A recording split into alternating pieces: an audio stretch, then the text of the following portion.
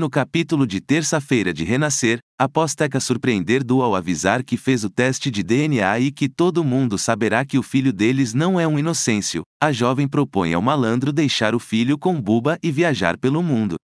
Enquanto isso, Yolanda, cada dia mais apaixonada por Rashid, fica sabendo por Joana que Eliana esqueceu umas peças íntimas no varal, e fica apavorada ao ver e decide colocar fogo, mas antes ela fica curiosa e experimenta a lingerie, e neste momento o libanês a flagra e fica atônito com a beleza da mulher. Ela grita para ele sair do quarto toda desajeitada tentando se cobrir, deixando ele ainda mais atiçado por ela.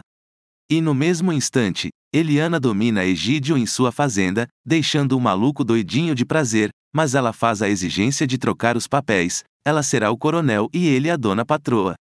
E parece que o amor está no ar em renascer, isso porque Joaninha também não tira zinha da cabeça.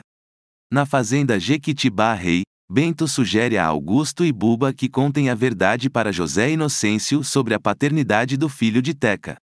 José Inocêncio se recusa a conversar com Augusto sobre Teca antes de o resultado do exame chegar. Na fazenda de João Pedro, Deocleciano se preocupa com sua mulher e aconselha Morena a não se apegar a Pitoco. Após seduzir Egídio, ele se ofende quando Eliana lembra que não é a sua mulher.